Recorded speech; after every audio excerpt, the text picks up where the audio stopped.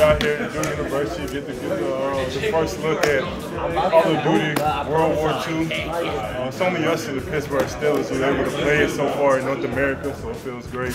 Uh, we finna start going crazy. Soon then, we finna, we finna win this game. Where you at, Wendell? We got a few of them out here, pretty nice. Grayson, uh, Marques, no, me, myself, of course. We, we. Hey! We